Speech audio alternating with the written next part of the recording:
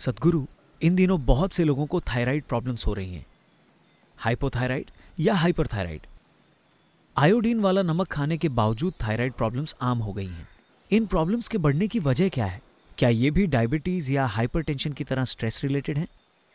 क्या हम हठ योग या क्रिया के अभ्यास से या ईशा योग केंद्र जैसे प्राण प्रतिष्ठित स्थान पर आकर इन हालातों में सुधार ला सकते हैं? इससे बाहर निकलने के लिए हम कौन सी चीज़ें कर सकते हैं? बहुत से लोगों ने हठयोग के अभ्यास के ज़रिए से छुटकारा पाया है। किसी प्राण प्रतिष्ठित स्थान में होने से निश्चित रूप से फ़ायदा होता है। But this uh, pretty, uh, pretty widespread लेकिन ये थायराइड इम्बैलेंस काफ़ी ज़्यादा लोगों को होने लगा है। देखिए हमें इसे समझना होगा। आप जिसे थायराइड कह रहे हैं, योग में हम इन ग्रंथियों को इस तरह से नहीं देखते। लेकिन मेडिकल दृष्टि से आप जिसे थायराइड कह रहे हैं, वो आपके भीतर एक ऐसा सिक्रीशन या स्राव है जो आपके सिस्टम को कैलिब्रेट करता है। हर रोज। ये तय करता है कि कितना पाचन होना चाहिए, कितनी ऊर्जा पैदा होनी चाहिए, कितना फैट पैदा होना चाहिए, कितनी मांसपेशी बननी चाहिए, हर चीज़। ये आपकी शारीरिक संरचना को संतुलित करने की कोशिश करता है। आपके शरीर की संरचना आपकी मनोवैज्ञानिक संरचना से गहरा संबंध रखती है। आज आपको ये दिखाने के लिए पर्याप्त प्रमाण मौजूद हैं कि अगर आप यहाँ बैठकर पहाड़ के बारे में सोचते हैं तो आपकी ग्रंथियाँ एक तरह से काम करेंगी। अगर आप शेर के बारे में सोचते हैं तो ये किसी और तरीके से काम करेंगी। अगर आप समुद्र के बारे में सोचते हैं तो ये किसी और तरीके से काम करेंगी। अगर आप किसी आदमी या औरत के बारे में सोचते हैं तो ये किसी और तरीके से काम करेंगी। बस एक विचार, और कुछ नहीं। पहाड़ से कोई संपर्क नहीं, शेर से कोई संपर्क नहीं, आदमी, औरत या समुद्र से कोई संपर्क नहीं। बस एक विचार ही ग्रंथियों के काम में उतार चढ़ाव ले आएगा। मैं कह रहा हूँ कि ये सिस्टम इतना शानदार और सटीक है कि ये आपको अच्छी हालत में रखने के लिए हर चीज़ को संतुलित करने की कोशिश कर रहा है। आपके साथ समस्या ये है कि आपको एक बैलगाड़ी चाहिए। क्योंकि आप वो खोई हुई कड़ी हैं। आपको बैलगाड़ी चाहिए, लेकिन उन्होंने आपको एक शानदार अंतरिक्ष यान दे दिया। हर छोटी से छोटी चीज़ तमामों चीज़ें करती हैं। अगर आप इसे बस छू लेते हैं तो बुम, सिस्टम में कई तरह की लहरें पैदा हो जाती हैं। अगर आप बस ऐसे देखते हैं और इस पेड़ के बारे में एक राय बना लेते हैं तो इसमें कई तरह के रासायनिक और दूसरे बदलाव आ जाएँगे। ग्रंथियों के काम करने का तरीका बदल जाएगा। आप जहाँ कहीं भी हो, मुंबई में हो, न्यूयॉर्क या लंदन में हो, या जहाँ भी हो जिन जगहों पर आप चल फिर रहे हैं, बस उस परिस्थिति पर गौर कीजिए। शायद सामाजिक तौर पर आप उन चीज़ों के आदि हो गए हैं। लेकिन जिस तरह के माहौल में आप चल फिर रहे हैं, उस पर गौर कीजिए। कितनी तरह की चीज़ें वहाँ हो रही हैं। उनमें से कुछ भी इस जीवन के लिए अनुकूल नहीं है। हो सकता है कि आपको इनकी आदत पड़ गई हो। शायद अब आप उन शहरों से बाहर न रह पाए। वो एक अलग बात है। लेकिन वो जीवन जो आप हैं, वो उस तरह का माहौल नहीं चाहता। तो आपके भीतर जो बहुत से बदलाव हो रहे हैं वो आपके हित में नहीं है। ग्रंथियों का ठीक से काम न करना तो बस एक नतीजा है। Very highly calibrated function. ग्रंथियों के बहुत ही परिष्कृत कार्यों में से एक चीज़ है थायराइड। ये आसानी से पता चल जाता है। सबसे पहले आपके शारीरिक और मनोवैज्ञानिक पैरामीटर सामान्य से थोड़े बदल जाते हैं गड़बड़ी की वजह से। और दूसरा आयाम उस गड़बड़ी का जो आपके भीतर से हो रही है। आपके खुद के मनोवैज्ञानिक पैटर्न। गड़बड़ी का एक और आयाम यह है कि आपके भीतर किस तरह का भोजन जा रहा है। आज आप ऐसी कोई चीज़ नहीं खा सकते। जो रासायनिक तौर पर प्रदूषित ना हो। अगर आप काफ़ी ऑर्गेनिक भोजन खा रहे हैं तो बस वो ऑर्गेनिक केमिकल्स इस्तेमाल कर रहे हैं। हालात ऐसे हो गए हैं। कुछ ऐसा खाना बहुत मुश्किल है जो किसी जंगल में उगा हो और आप बस उसे तोड़कर खा सकें। ऐसा बहुत बहुत कम होता है। ऐसे लोगों का प्रतिशत न के बराबर है जो उस तरह की चीज़ें खा सकें। अब सब कुछ बाज़ार से आता है। और बाज़ार में सब कुछ ज़्यादा मात्रा से तय होता है। न कि क्वालिटी से। और ये भी इस देश में ये सारी चीज़ें अब खत्म हो गई हैं।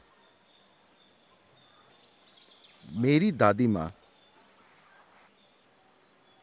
हर दिन वो सब्ज़ी वाले, वो घर में टोकरी लेकर आते थे। सुबह सुबह ही उन्होंने खेत से सब्ज़ी तोड़ी होगी और साढ़े सात, आठ बजे तक वो हमारे दरवाजे पर होते थे। जब वो आते थे तो दादी माँ सब्जियों को देखती थी।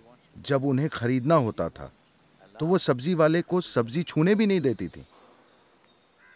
वही इसे तोड़ कर लाए हैं।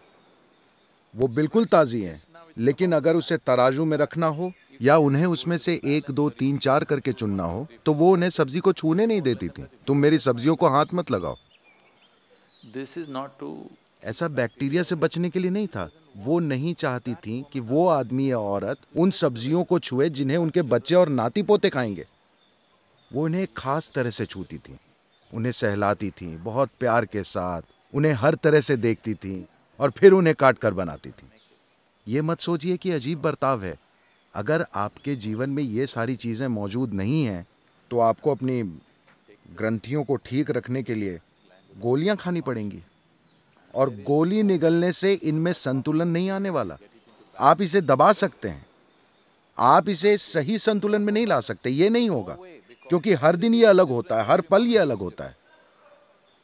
ये कैलिब्रेशन है। एक बहुत सक्रिय कैलिब्रेशन होता रहता है। आप इसे मार देते हैं और बस एक गोली लेते हैं और किसी तरह काम चलाते हैं। यानी कि आप थोड़ी खराब मशीन है। इस खराबी के साथ मशीन की ये खराबी कई तरह से ज़ाहिर होगी और आपको इसका पता तभी चलेगा जब आप इसे हद के पार ले जाएँगे। जब आप बहुत सीमित जीवन जीते हैं तो यह ज़ाहिर नहीं होता। ये कुछ ऐसा है देखिए, अगर आपकी कार का टायर पंचर है तो भी आप 20 किलोमीटर की रफ्तार से कार चलाकर घर जा सकते हैं। कुछ चीज़ें खराब होंगी, कुछ चीज़ें फट जाएँगी, लेकिन फिर भी आप कार चला सकते हैं। अगर आप 200 किलोमीटर प्रति घंटे की रफ्तार पर हैं, और तब अगर टायर पंचर होता है तो आप जानते हैं कि आप सड़क से बाहर उड़ जाएँगे। तो बस यही बात है। अगर इन सब चीज़ों को ठीक से संभाला गया है अब अगर आप अपने जीवन को एक काफ़ी ज़्यादा ऊँचे स्तर पर काम करने के लिए ले जाते हैं तो भी ये आराम से चलेगा। उस संतुलन को लाए बिना अगर आप अपने जीवन की गति बढ़ाते हैं तो ये डगमगाने लगेगा। आप अपने आसपास हर दिन ऐसा होते देखते होंगे। तो अपने जीवन में उतनी लागत लगाने के लिए, खैर आप अपने शहर को छोड़कर जंगल में रहने नहीं जा सकते। आप अपने माहौल को छोड़कर दूर नहीं जा सकते। आपको कम से कम खुद को इतना सक्षम बनाना होगा कि उन चीज़ों का आप पर ज़्यादा असर ना हो। वैसे भी इनका असर तो होगा, लेकिन सवाल है कि कितना कितना असर होगा? कम से कम अपने घर में, अपने आसपास कुछ पौधे लगाइए। अगर खुली जगह ना हो तो अपने कमरे में ही लगा लीजिए। हो सकता है कि ये थोड़ा अजीब लगे। आधी छत को खोल दीजिए। अरे, लेकिन सदगुरु ऊपर एक और मंजिल है। ठीक है, एक दीवार हटा दीजिए, ताकि आपको थोड़ी सूरज की रोशनी मिले। हाँ? ऐसा ना हो कि घर हर तरफ़ से बंद हो और हर समय बस एक एसी बर करता रहे।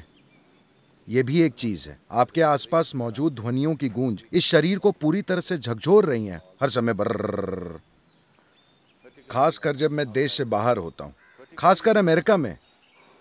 यूरोप में भी वहाँ थोड़ा बेहतर है लेकिन अमेरिका में हर समय कुछ न कुछ गूंजता रहता है। हम्म, हर समय। जब मैं यहाँ आता हूँ तो लगता है बस बिल्कुल शांत जो आपको जीवंत बनाता है। जब हर चीज़ गूंजती रहती है तो आप बस पुफ। ज़्यादातर लोग इसके प्रति जागरूक नहीं हैं लेकिन ये उनके साथ हो रहा है। उनके दिन में आठ घंटे सोने से ये साफ़ साबित होता है। ऐसा इसलिए हो रहा है क्योंकि वो अपने प्राकृतिक वातावरण में नहीं रह रहे।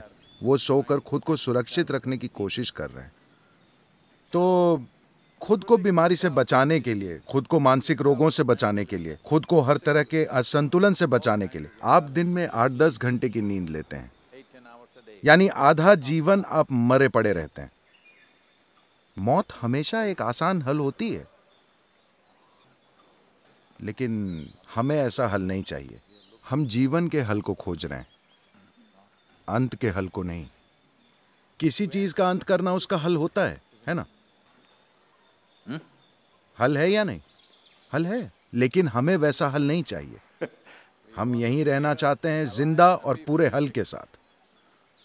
तो अगर ऐसा होना है तो आप शायद आप थोड़े अजीब लगें मुझे भी आप अजीब लगेंगे। लेकिन आप जहाँ सोते हैं, वहाँ कुछ पौधे लगा कर रख सकते हैं। जब आप चलते हैं तो आपको इंसानों के अलावा दूसरे जीवनों के प्रति हमेशा जागरूक रहना चाहिए। ज़्यादातर लोग इंसानों के प्रति ही जागरूक नहीं होते। तो मैं आपको याद दिला रहा हूँ, आपको हर उस चीज़ के प्रति जागरूक रहना होगा जो जीवित है। एक पेड़, एक पौधा, एक घास का तिनका, एक कूदता हुआ टिड्डा और आपके पास से गुजरने वाले वो लोग जिन्हें आप पसंद नहीं करते। हर तरह की चीज़ें। हर चीज़ के प्रति आपको ज़िंदा होना चाहिए। वो ये बोलने की ज़रूरत नहीं है ओ मुझे इस पेड़ से प्यार है। आपको पेड़ से प्यार करने की ज़रूरत नहीं है। आपको उससे पोषण लेना होगा। जीने का केवल यही तरीका है। आप पसंद करें या ना करें वो अभी आपको पोषण दे रहा है। अगर आप ये सचेतन होकर करते हैं तो हर चीज़ें बेहतर काम करेंगी। अपने आसपास की हर चीज़ के प्रति जीवंत होना बिना किसी भेदभाव के। ऐसी साधारण चीज़ आपके थायराइड की समस्या को संतुलित कर सकती है। Of course. बेशक सुबह हट योग तो है ही क्रियाएँ भी हैं ये सभी चीज़ें निश्चित रूप से मदद करेंगी और शक्तिशाली रूप से प्राण प्रतिष्ठित स्थान भी हैं। कई चीज़ें हैं। एक मुख्य कारण यह है कि इंसान कम और कम सक्रिय होते जा रहे हैं जैसे जैसे तकनीक का विकास हो रहा है। एक दिन में औसतन एक औसत इंसान। How much activity physical activity पिछली पीढ़ियों के लोग कितनी ज़्यादा शारीरिक मेहनत किया करते थे। और अभी हम सब जितनी शारीरिक मेहनत कर रहे हैं वो बहुत ही कम है। इतने कम स्तर की सक्रियता के साथ सिस्टम में संतुलन रखना मुश्किल है।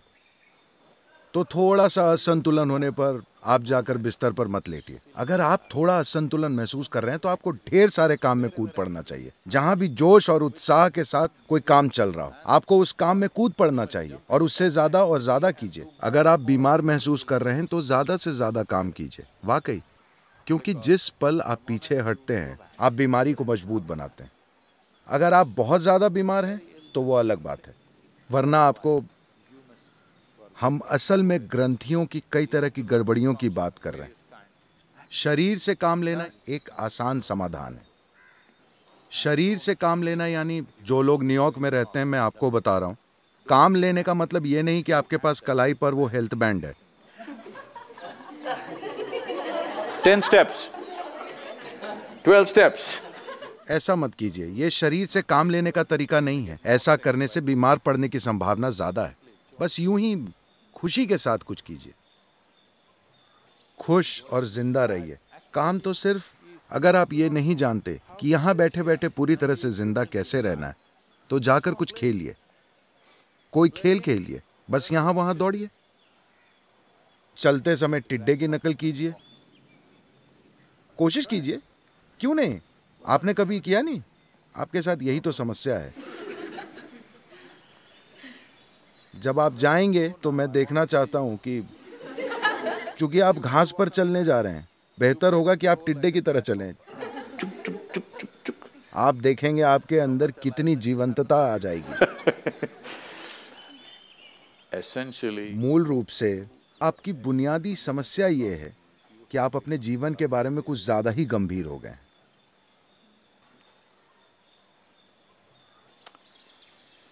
तो हमें आपको दोबारा याद दिलाना होगा कि वैसे भी आप मर जाएँगे।